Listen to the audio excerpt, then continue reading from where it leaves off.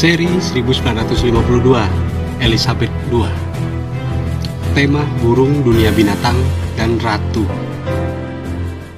Assalamualaikum warahmatullahi wabarakatuh. Ketemu lagi dengan saya di Koin Logam Channel. Kali ini saya akan mereview koin dari negara Australia. Pecahan 10 sen tahun 1981 Langsung saja, seri 1952 Elizabeth II tema burung dunia binatang dan ratu. Tahun edar 1966, terbitan terakhir 1984. Pembagian sirkulasi standar, percetakan Royal Mint Australia, Canberra, Australia, Royal Mint, Lantrisan, Wales, Britania Raya, Royal Mint, situs Tower Hill, London, Inggris Raya, 1809 1967. Pinggir bergerak berkurai.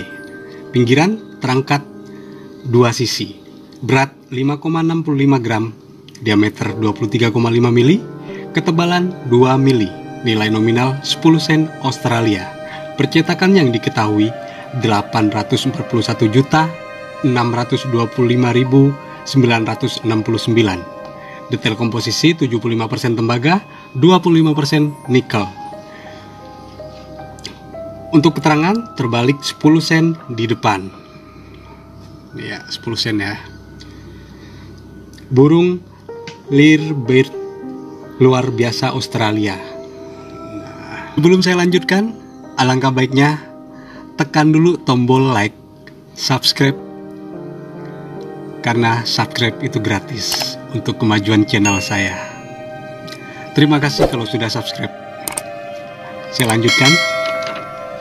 Uang logam 10 sen adalah nilai uang koin yang pertama kali diperkenalkan di Australia pada tahun 1966 untuk menggantikan mata uang logam Sailing Australia.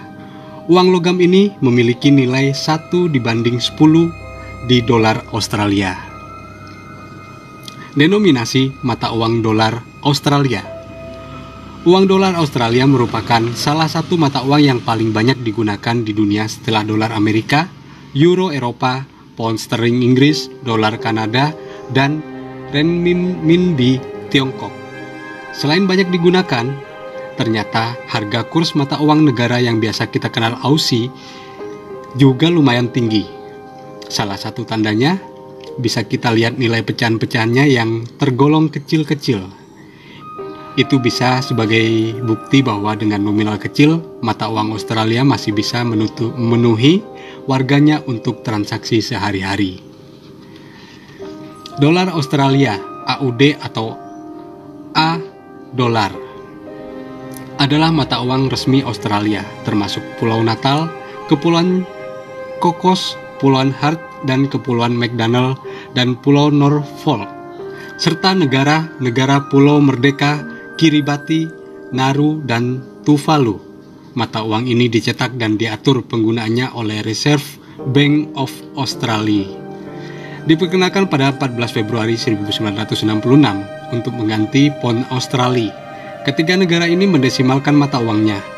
Dolar Australia adalah mata uang yang paling diperdagangkan keenam di pasar falas dunia setelah dolar AS, yen, euro, euro, pound sterling, dan dolar Kanada dan mencakup sekitar 4-5% dari transaksi falas dunia.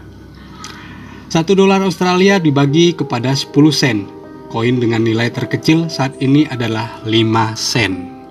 Demikian review koin 10 sen negara Australia tahun 1981. Semoga bermanfaat. Jangan lupa like, subscribe, komen.